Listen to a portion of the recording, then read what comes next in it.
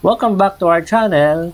For today, we are going to calibrate and tune our line follower for our part 3 of the line follower tutorials. If hindi nyo pa napapanood ang part 1 and part 2, we suggest na panoorin nyo muna para makasunod kayo dito sa ating part 3 tutorial about line follower.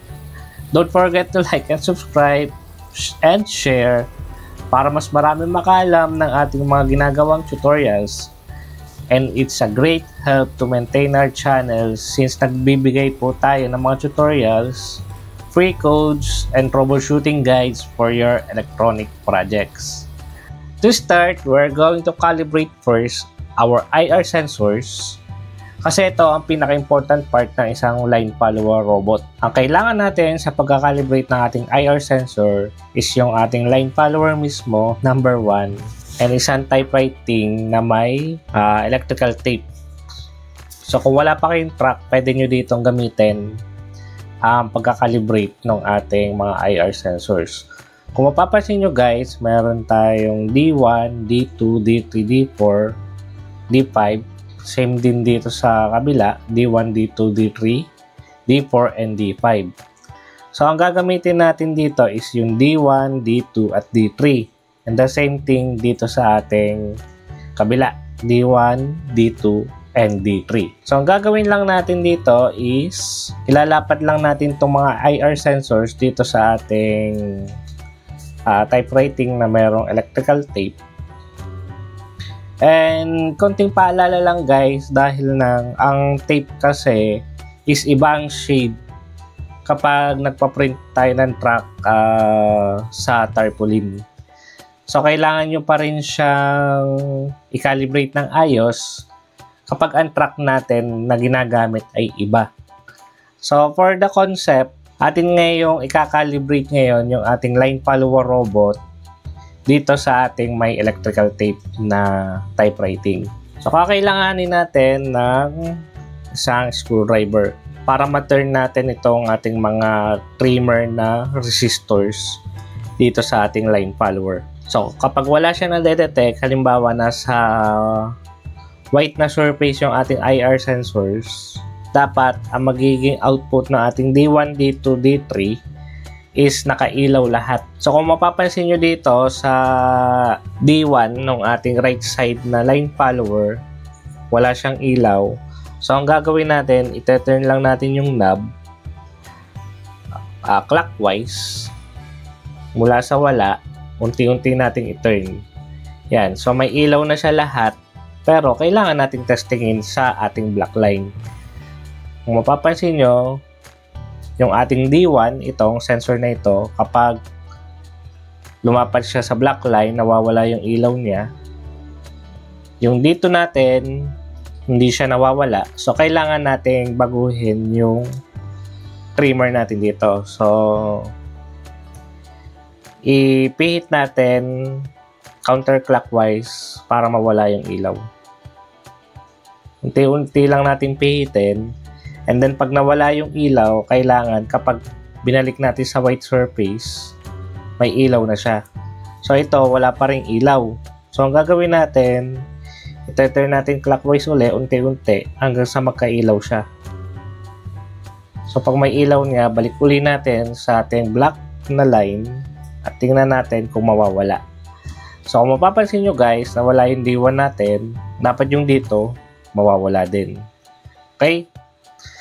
So, sa D3 natin, so nawawala siya, so okay pa yung ating D3. So, dito naman sa ating kabila, so ito ay D1. So, hindi nawawala yung ating ilaw dito. So, ito turn natin to ng counterclockwise hanggang sa mawala. Konting-konting pihit lang to guys and then ibalik natin sa white na surface. So yun, may ilaw na siya. Kapag lumapat sa ating black line, nawawala. Yung ating dito naman, okay siya. And then yung ating D3, okay na siya. Okay guys, so makikita nyo dito, calibrated na yung ating mga IR sensors. So, konting paalala lang uli na kapag iba yung track na ginagamit nyo, iba kasi ang shade ng black sa mga tarpaulin printed na mga track. So, kailangan nyo pa rin siyang i-recalibrate do sa track na inyong gagamitin. Proceed ngayon tayo sa ating tuning. So, ito na yung actual testing ng ating line follower.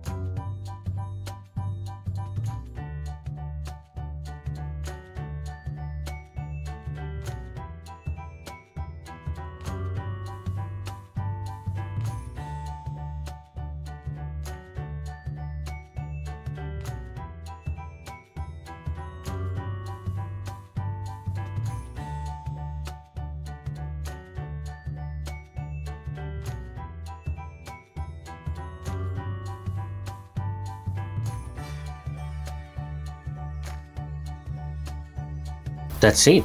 Even though nakapag-test tayo ng marami, marami pa rin tayong maging pwedeng combination ng parameters sa ating tuning process. You can discover them yourselves since we are only giving you the basics for this project. I hope may natutunan kayo from this tutorial and please like, share, and comment para mas malayo ang ma-reach ng ating mga tutorials. Thank you and good luck to your projects. Bye-bye!